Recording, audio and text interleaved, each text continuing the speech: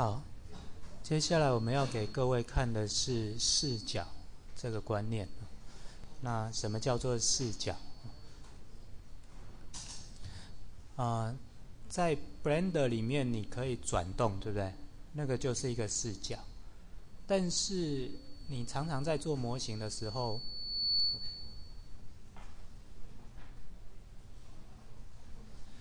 啊，你在做模型的时候，往往会。会用很多个视角，而且有时候你想要同时看到，那这时候怎么办啊？我们先来告诉各位视角怎么切换。好，在下面有一个 view，这个 view 就是视角的意思啊，就是世界啊，那就是眼睛看到的部分。那上面呢有 camera，这个是相机视角，top。是顶视角，从上面看下来；bottom 从下面看上去；front 从前面看过去；back 从后面看过来；然后 right 从右边看过来；left 从左边看过来。OK，大概这些就够了。另外还有一个 view perspective 和 orthogonal，那这代表说，啊，像你现在看到的，这是 orthogonal 的。哎，不对，这是 perspective 的啊。那如果你想看到 orthogonal，就是垂直的，也就是说它不会这么有立体感的，是平面的那种东西啊，看起来比较平的那种东西，那个叫 orthogonal 的。好，那你可以看到有这些视角。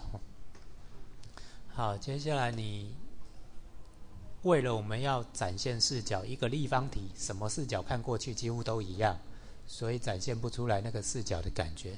所以我们要新增一个比较立体的东西，那猴子头比较立体一点，它前后左右上下都不太一样。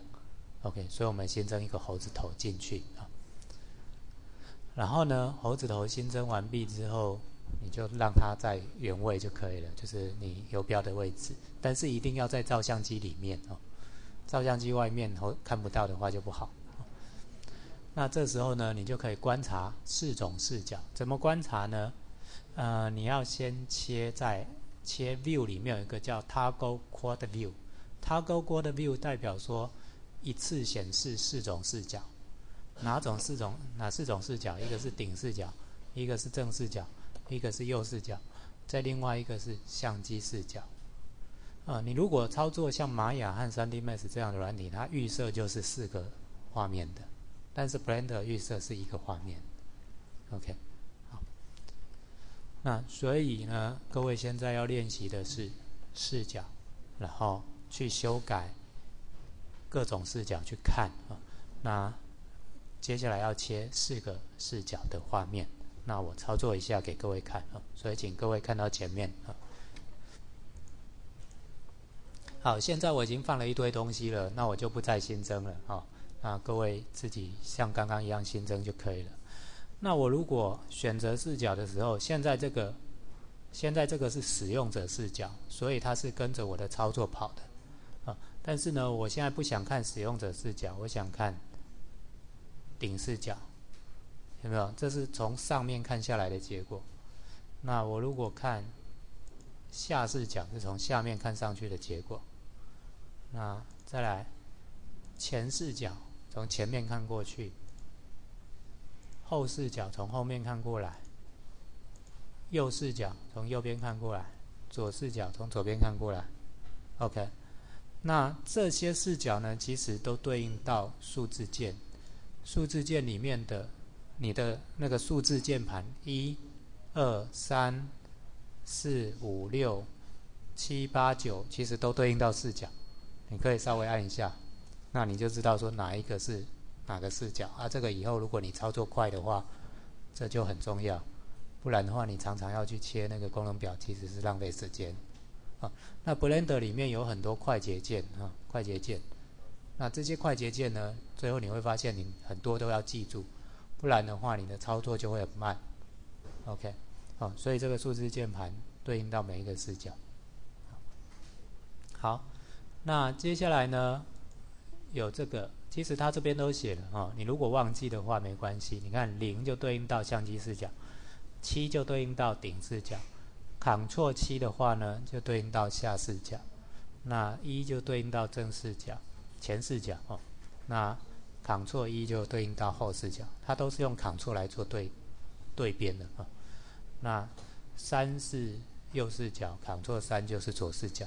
OK，那但是我们现在要看的是四个同时看到的，四个视角同时看到的，我选这个 Toggle Quad View 啊，再选一次就会回来。那如果你啊记忆力很好的话，Ctrl A Q 记住，然后呢就按 Ctrl A Q，哎不对，是 Ctrl L T Q 哦，抱歉，Ctrl L T Q 啊，就就从这个一直切换，啊，那当你操作的很快的时候，这些会加速你的建模过程。好，那在每一个里面，你还可以做滚动啊之类的，都还可以做。OK，啊，这个也是一，这个这个就不能了哦，因为因为这个是固定的视角，但是这一个可以，这个可以操控。啊，好。那这些呢，就是固定的视角。啊，那之后我们还会告诉各位哦，因为这样子固定的时候看起来是很方便。有时候你要些特殊需求的时候，你可以自己切视窗，你可以切把视窗切成四块、八块，啊，不不一定三块啊，两块都可以，啊，你可以自己切啊。那这是一个快速的方式，它帮你切好。但是实际上它不是切割视窗，它是同一个视窗里面放四个东西啊，所以有点不一样。OK，好，所以请各位练习一下视角的观念。